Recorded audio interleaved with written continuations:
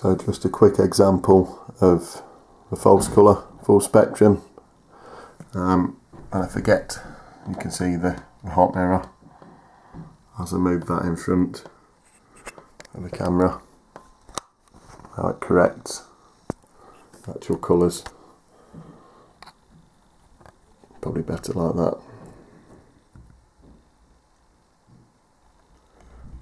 The white balance can be set, it can be set to achieve um, full infrared if required.